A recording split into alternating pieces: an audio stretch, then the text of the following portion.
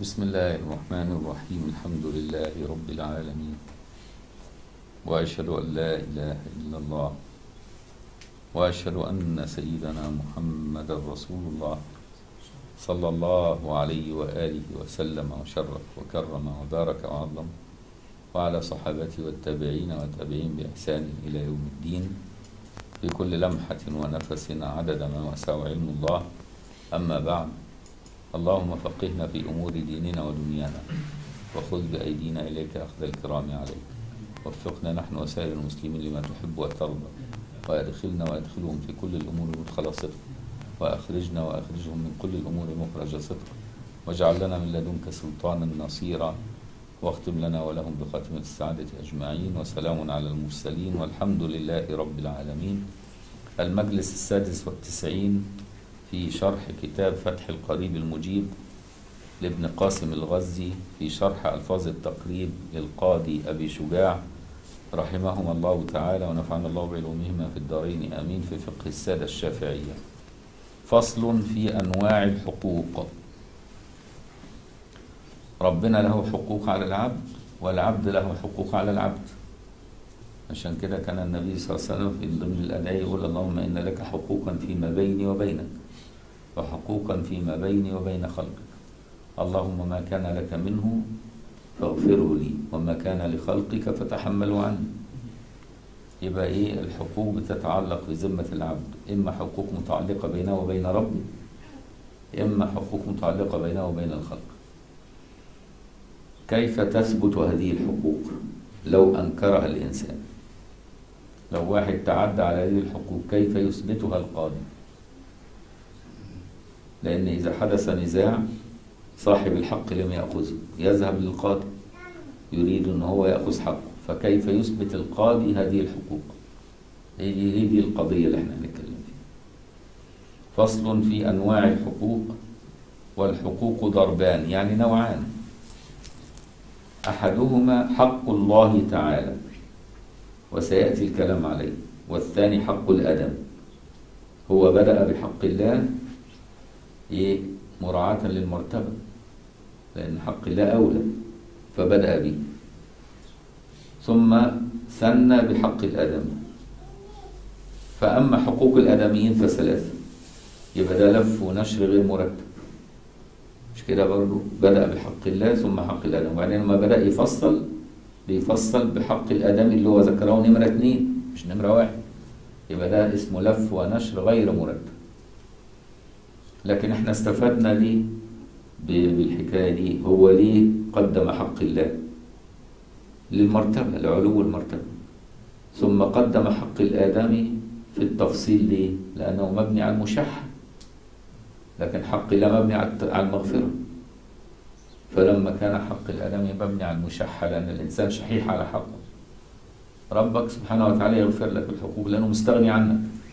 لكن ابن آدم شحيح بحقه. فذكر أن أنواع الحقوق حق الله تقديما للمرتبة ثم حق الآدم ثم لما فصل بدأ بالحقوق المبناة على المشحة. وأخر حق الله لأنه مبناه على المغفرة. فهم؟ ودي برضو إيه لطائف في كيفية التصنيف عند العلماء. فأما حقوق الآدميين فثلاثة وفي بعض النسخ فهي على ثلاثة أضرب.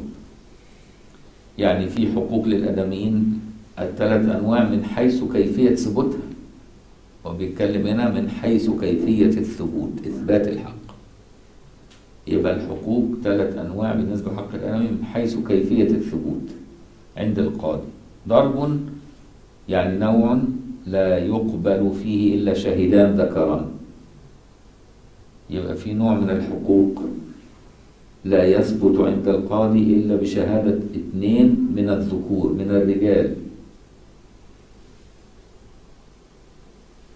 ممن ترضون من إيه؟ من رجالكم. مش كده برضو؟ يبقى في حقوق يشترط في في الشهود فيها الذكورة ويشترط فيها أيضا إيه؟ العدد.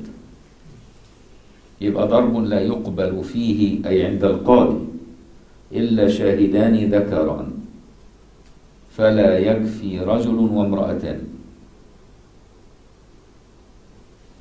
فسر المصنف هذا الضرب بقوله وهو ما لا يقصد منه المال ويطلع عليه الرجال الحقوق التي لا يقصد منها مال ويطلع عليها الرجال غالبا. هي دي الحقوق التي لا تثبت إلا بشهادة رجال لا تجوز شهادة النساء أولا في الحدود مثلا. ولا في النكاح والطلاق. ليه بقى؟ لأن النكاح اللي بيقوم بمين؟ زوج أدي رجل. وولي للزوجة أدي رجل برضه. وشهادة شهود إيه؟ رجال. يبقى لا يثبت النكاح إلا بشهادة رجال. واحد تزوج واحدة وجاء أنكر إنها زوجته. القاضي إزاي يثبت الزواج؟ ما لم يكن موثقا إلا بشهادة شهود رجال يقول آه لا تتزوجها فما ينفعش يجيب راجل وامرأتين.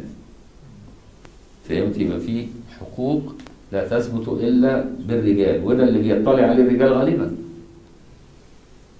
وعشان كده قال مالك عن الزهري مضت السنة وثبتت بأنه لا تجوز شهادة النساء في الحدود. الحدود اللي هي إيه؟ الجنائيات الأمور الجنائية كقتل النفس وكالسرقة وكالقذف وكالزنا دي أمور بتبقى إيه فيها؟ وكالحرابة وكشرب الخمر. دي كلها لا يثبت فيها الحق بشهادة النساء أو رجل وامرأتين لازم رجلين.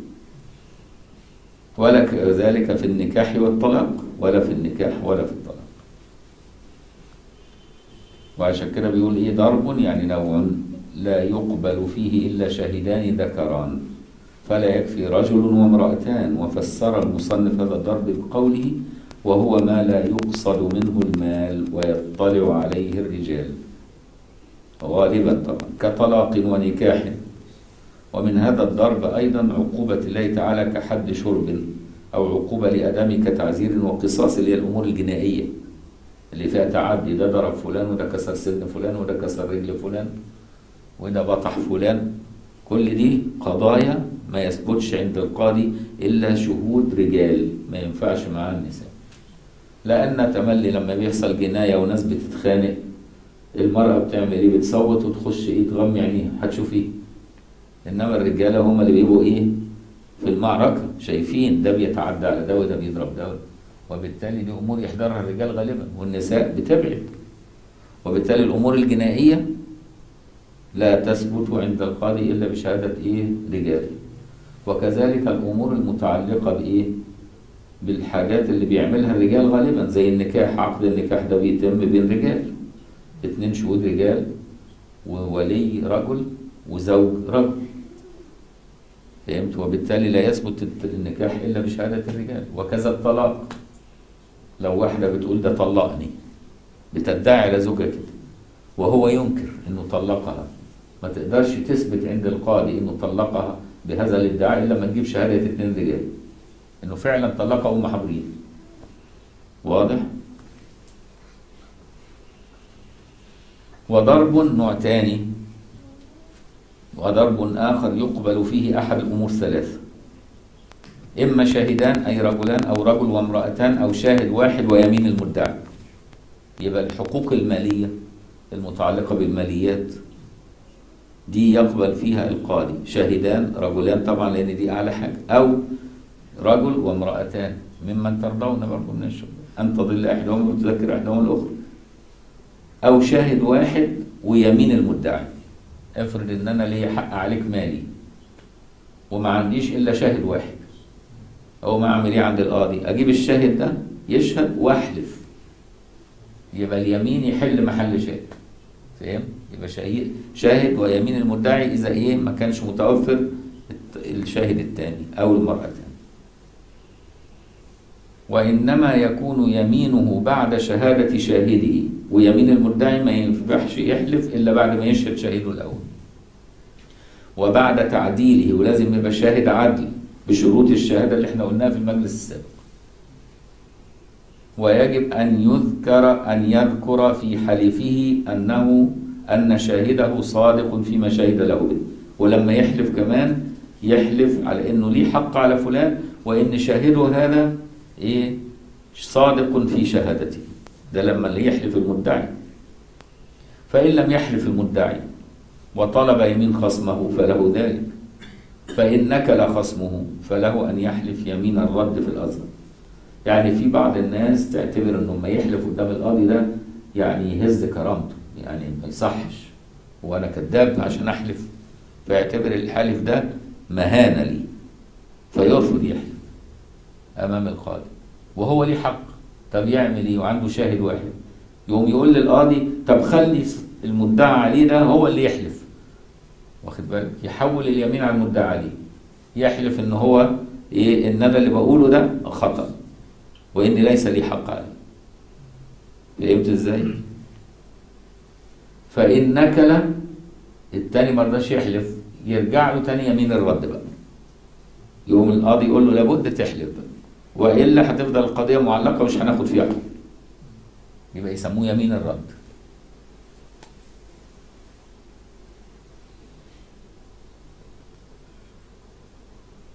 وفسر المصنف هذا الضرب بقول النوع بقى اللي بيقبل فيه أحد ثلاث أنواع اللي هي رجلان أو رجل وامرأتان أو إيه؟ شاهد ويمين المدعي.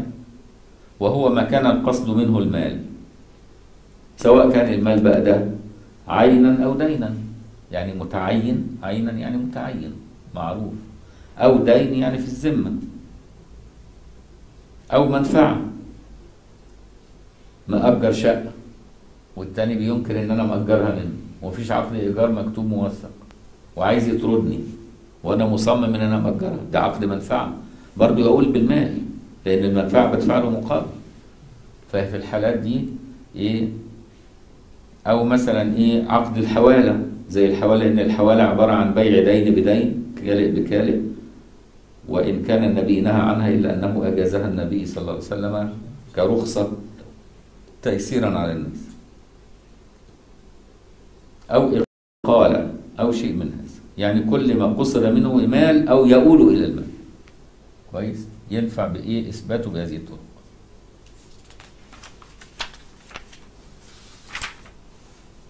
وضرب آخر اللي هو النوع الأخير يقبل فيه أحد أمرين. رجل وامرأتان أو أربع نسوة. وطبعا من باب أولى رجلان. فيبقى حقه يقول إيه؟ يقبل فيه أحد ثلاث أمور. لكن هو الأمرين ليه؟ لأن رجل وامرأتان الرجلان أقوى من رجل وامرأتان. يبقى من باب أولى رجل وامرأتان ورجلان يبقى رجلان أو رجل وامرأتان أو أربع نسوة. يعني إيه؟ يعني ما يبقاش فيها رجالة خالص. يعني لو ما فيش رجالة خالص أجيب أربع نسوه يشهدوا واضح؟ ودي الأمور التي لا يطلع عليها إلا النساء غالبا. عكس النوع الأولاني. زي إيه؟ الرضاعة. الرضاعة من الثدي. لا يطلع عليها إلا النساء غالبا. ما بتجيش واحدة ست تطلع ثديها وترضع طفلها قدام الرجال. لكن ممكن قدام الستات تطلع ثديها وترضع. فاهم؟ فالأمور الحاجات المت... الحيض إنها حاضت وانقضت عدتها أو ما انقضتش عدتها بينبني عليها حقوق قضاء العدة والعدة متعلقة بالحيض والحيض ده لا يطلع عليه إلا النساء بس مش الرجال يبقى يكفي فيها شهادة نساء الأمور زي والولادة دخلوا وقعدت تزعق وتصوت ولدت طلعوا بعيل شافوا العيل ده نزل من هذه المرأة. اللي بيحضر الولادة مين؟ غالبا ستات غالبا. فهمت فينسبوه ليها وهكذا. يبقى الأمور والبكارة إن فلانة بكر ولا مش بكر دي يطلع عليه النساء غالبا مش الرجالة. يبقى في بعض الأمور اللي يحصل فيها نزاع ولا يطلع عليها إلا الرجال غالبا فلا تثبت إلا بشهادة رجال والأمور التي يحدث فيها نزاع ولا يطلع عليها إلا النساء غالبا تثبت بشهادة النساء أربع نسوة أو رجل وامرأتان أو من باب أولى رجلان. فهمت بقى القصة؟ وهو ما لا يطلع عليه الرجال غالبا بل نادرا كولادة وحيض ورضاع وممكن تزود حاجات كمان والبكارة. وعيب مستور في المرأة إن هي تعاني من قرن مثلا أو تشوه في فرجها. كل الأمور دي لا يطلع عليها إلا الرجال. أو أنها خنثى مش امرأة. فهمت؟ أدعي إن هي بعد ما تزوجت امرأة أدعي إن هي خنثى مش امرأة. كاملة لا ده خنثى. أو عندها تشوه. طب مين اللي اللي يقف معايا ويثبت؟ نساء شهادة نساء بل النساء هم اللي بتطلع على مثل هذه الاشياء لكن العيب الظاهر في الوجه واليد ده بيطلع عليه الرجال برضه غالبا فمش محتاج بقى إيه إيه يعني حكاية فيكفي فيه رجلان يبقى ما لا يطلع عليه الرجال غالبا بل نادر كولاده وحيض ورضاع. ولازم الرضاع يبقى من الثدي مش الرضاع صناعي بتدي له ببرونه طب ما أي واحد يعمل له ببرونه يبقى المقصد هنا رضاع من الثدي. لأن الرضاع من الثدي ينبني عليه الأمومة بالرضاع. فافرض إن واحد شاف زوجتي فقال لي إيه؟ ده زوجتك دي اللي أنت جوزتها رضعت من فلانة اللي رضعتك. الله. ده كده هيخليني أفسخ العقد وتبقى العقد باطل. طب أنا شاكك يوم يعمل إيه؟ يحصل إيه؟ لازم تجيب بقى شهود. إيه رجال آه، نساء أو رجل وامرأتان يشهدوا إن فعلا فلانة رضعت فلان وفلان. يوم ساعتها يحكم القاضي بفسخ عقد الزواج اللي بين الرجل والمرأة التي رضعت معه من امرأة واحدة. فدي أمور هينبني عليها أحكام شرعية. ولازم يكون الرضاع هنا رضاع من الثدي مش الرضاع الصناعي لأن الرضاع الصناعي مش هينبني عليه أحكام شرعية. واعلم أنه لا يثبت شيء من الحقوق بامرأتين ويمين. يعني ممكن يثبت برجل ويمين لكن ما فيش حقوق تثبت بامرأتين ويمين ابدا. يا إما إيه أربع نساء يا إما رجل وامرأتان يا إما رجلان. واضح؟ كده خلصنا الثلاث أنواع من الحقوق المتعلقة بالآدميين وكيفية ثبوتها. حق يتعلق بإيه؟ بما لا يطلع عليه إلا الرجال غالبا كالأمور الجنائيه وكايه النكاح والطلاق. يبقى ده لا يثبت إلا بشهادة الرجال. فهمت رجلان بس. نوع تاني لا يطلع عليه إلا النساء غالبا وده يثبت برجلين أو رجل وامرأتان أو أربع نسوة والأمور المالية يكفي فيها شهادة رجلين أو رجل وامرأتان أو يمين وشاهد فهمت بقى اختصار الحكاية؟ نيجي بقى لحقوق الله. وأما حقوق الله تعالى فلا يقبل فيها النساء بل الرجال فقط. وهي أي حقوق الله على ثلاثة أضرب. ضرب يعني نوع لا يقبل فيه أقل من أربعة من الرجال. وده الزنا. علشان يثبت الزنا إن فلان زنى لازم يبقى الشهود مين؟ رجال ولازم يبقوا أربعة كمان. طب ليه صعب الحكاية دي؟ حتى يكون هذه المسألة أقرب للستر لأن ربنا لا يريد لا يريد الفضائح. فلما أراد الستر صعب إثباتها عشان إيه؟ يكسر سترها. يبقى هو وهو الزنا ويكون نظرهم له لأجل الشهادة فلو تعمدوا النظر لغيرها فسقوا. يعني رايحين يتفرجوا كده بس زي يعني في بعض المسارح هناك في أوروبا بيعملوا العملية الجنسية دي والناس قاعدين يتفرجوا بس. مش لغرض الشهادة للمتعة دول يبقوا فسقة مجرمين. لكن اللي يشهدوا في قضية زنا يبقى بينظر ينظر صحيح جت قدرا لكن بيتمعن علشان لو طلب شاهدا يبقى متأكد. مش بيتمعن عشان يتلذذ. فاهم عشان كده قالوا إيه؟ قال ويكون نظرهم له لأجل الشهادة فلو تعمدوا النظر لغيرها فسقوا. وردت شهادتهم. أما إقرار شخص بالزنا فيكفي في الشهادة عليه رجلان في الأزهر. افرض واحد أقر على نفسه أنه زنى. كويس؟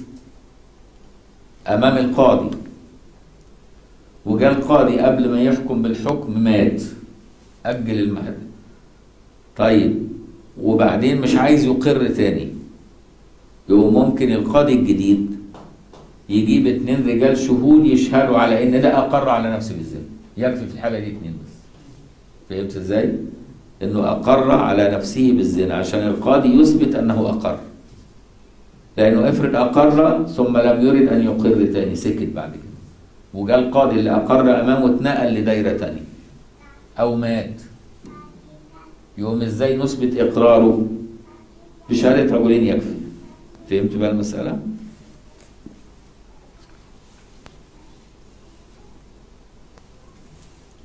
وضرب آخر من حقوق الله تعالى يقبل فيه اثنان. ما يحتاجش فيه أربعة. اللي هي الأمور الجنائية بقى. ده فلان كسر لي ده سنة كسر لي عظمة قتله. أو سرق ماله. يكفي فيها شهادة اتنين وخلاص. فهمت إزاي؟ أو مثلا بيقطع الطريق اللي هي الحرابة ويخيف الناس ويثبتهم على الدايري زي ما بيقولوا باللغة العامية بتاعتنا. واخد يكفي فيها شهادة اتنين رجالة وخلاص. إن أنا شفت فلان ده بيثبت الناس على الدايرة والتاني يحلف برضه إنه شاف فلان ده بيثبت الناس على الدايرة. ثبتهم يعني إيه؟ يعني يخيفهم ويأخذ ما يملكونه. يبقى ده قطع طريق مجرم حده حرابة فهمت؟ أو أو شرب خمر. يكفي فيه برضه شهادة إيه رجلان؟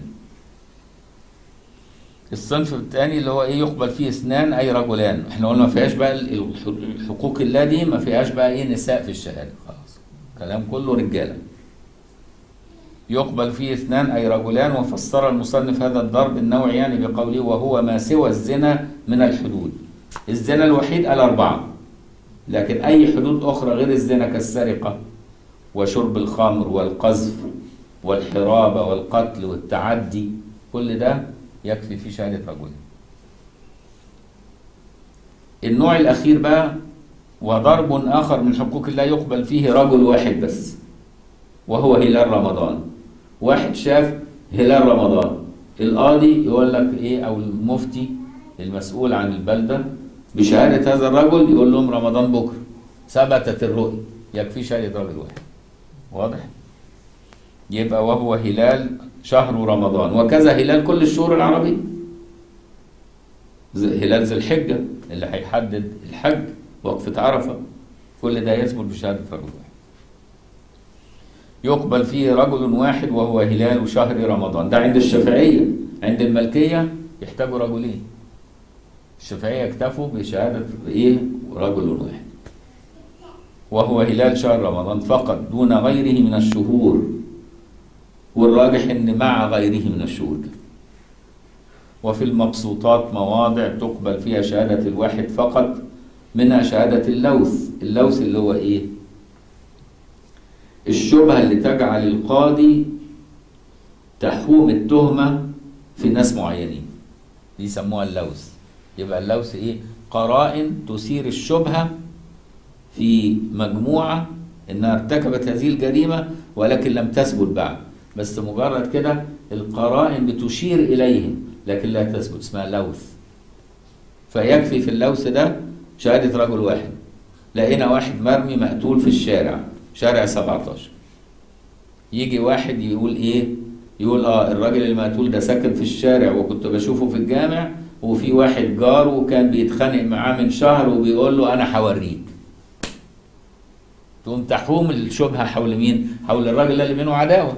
يقوم القاضي إيه؟ بشهادة الراجل ده يستدعي اللي إيه؟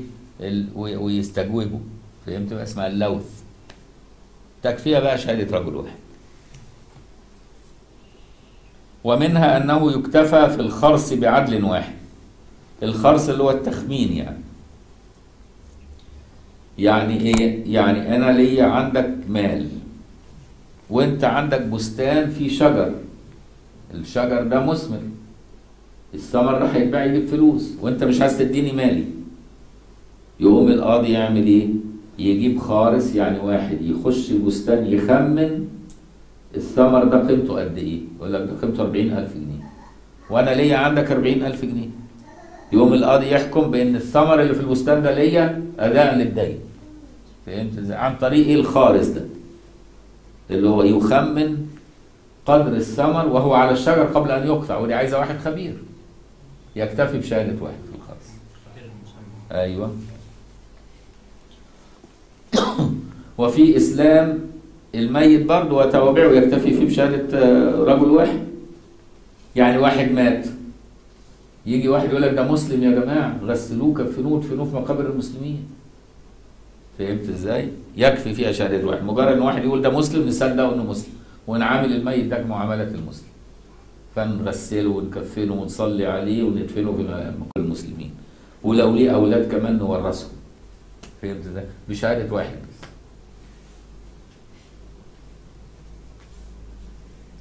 ثم بقى إيه؟ يعني ده تزييل متعلق بالموضوع. قال ولا تقبل شهادة الأعمى إلا في خمسة مواضع. لأن الشهادة بتعتمد على الرؤية. مش كده برضه البصر يعني. شاهد يعني شهد والشهود يكون بالرؤية. طب ينفع تقبل شهادة الأعمى؟ بمقتضى اللفظ كده يبقى الأعمى ما تقبلش شهادته. قال لك لا لكن الأعمى تقبل شهادته في خمس مواضع بس. غير كده لا تقبل شهادة الأعمى. فهم؟ وكذلك إيه؟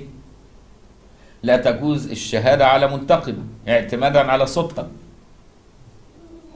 يعني واحدة منتقبة وأنا عارف إن صوتها ده إنها مرات فلان فتورثه. من صوتها مرات جاري. وجاري ده مات وراجل غني. وهي مضيعة قسيمة الزواج. وعايزة تدخل هي في إعلام الوراثة.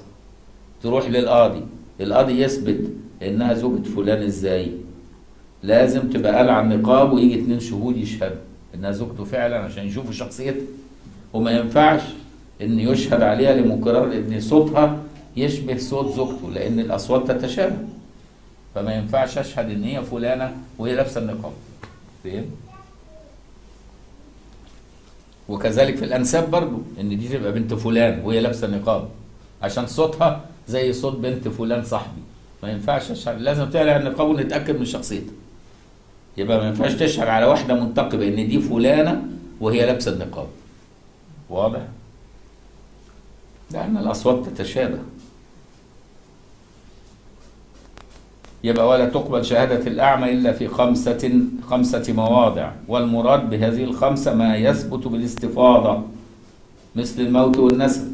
يعني في بعض الأمور أخبار بتثبت كده بالشهرة. يستحيل الناس تكذب. إن فلان المشهور ده مات من خمس ست سنين. فكل الناس اللي في المنطقة عارفين ان فلان ده المشهور ده مات من خمس ست سنين وجنازته طلعت وخلاص. فالأعمى سمع من كل الناس ان فلان مات. فلأن الأمور ده ثبت بالاستفاضة يعني بالشهرة المتواترة يستحيل فله أن يشهد إن فعلا فلان كان مات. فهمت؟ يعني ما يثبت بالاستفاضة. يعني شيوع الخبر. الاستفاضة يعني إيه؟ يعني شيوع الخبر كالتواتر. على الأصح كأن في مقابل الأصح يقول لك ولا ده كمان ينفع في شهادة الأحد. ده المقابل الأصح. ومثل الملك المطلق. في ملك مطلق وفي مثل ملك مقيد. الملك المطلق اللي انت تكون معروف إن ده ملكك بدون عقد بيع. يعني الناس لقت ده ملكك من زمان.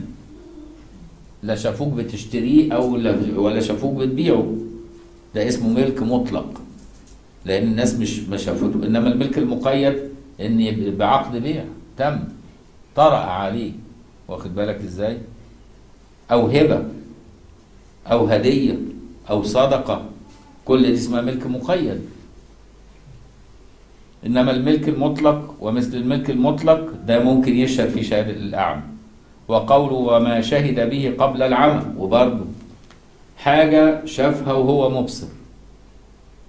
فهم؟ وبعدين أصابه مرض ففقد بصره. له أن يشهد وهو أعمى على ما رآه وهو مبصر. طالما هو شافها قبل ما يفقد بصره. فهم؟ وما شهد به قبل العمى.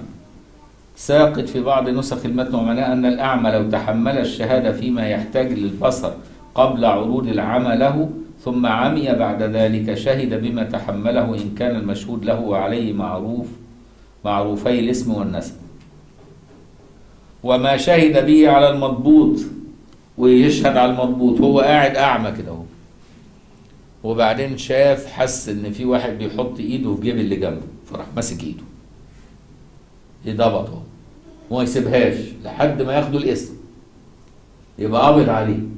أو ده اسمه الشهادة على المضبوط. فهمت إزاي؟ صاحب الإيد دي ولا هيخلع إيده ويمشي؟ فهمت إزاي؟ فده اسمه شهد على المضبوط. يعني قبض عليه. دخل لقاه نايم في سرير فوق امرأة. وهو أعمى بيحسس كده. فراح مسكه من خناق و- وإيه؟ ولم عليه الناس. على الوضع ده. آه يبقى خلاص تتم شهاده لأنه ضبط مسكه. فهمت ده اسمه الشهادة على المضبوط. وصورته أن يقر شخص في أذن أعمى بعتق أو طلاق لشخص يعرف اسمه ونسبه ويدعو ذلك الأعمى على رأس ذلك المقر فيتعلق الأعمى به ويضبطه حتى يشهد عليه بما سمعه منه عند قاد ولا تقبل شهادة شخص جا- جار لنفسه نفعا ولا دافع عنها ضررا. ما ينفعش تقبل شهادة واحد شهادته دي هتجر ليه نفع أو تدفع عنه ضر يبقى ليه مصلحة؟ طالما ليه مصلحة شهادته معطوبة فاهم؟ أو عايز يدفع ضرر تبقى شهادته معطوبة عشان كده الأب ما يشهدش لابنه والابن ما يشهدش لأبوه شهادتهم معطوبة فهمت بقى إزاي ليه؟ لأن في في نوع من المودة اللي بيه قد تجعله يشهد لمصلحة إيه؟ فلان أو يحول الكلام لمصلحة فلان فلازم يبقى كمان إيه؟ بعيد الشبهة عن إنه ينتفع أو يدفع عنه ضرر بشهادته وحينئذ ترد شهادة السيد لعبد لعبده المأذون له في التجارة ومكاتبه وغير ذلك يعني مما ينبني عليه نفع يعود على الشاهد. ونقف على كتاب العتق وهو تقريبا آخر كتاب في هذا الكتاب. والحمد لله. ويبقى إيه؟ ختمنا كتاب العتق. إن شاء الله الثلاثاء بعد القادم.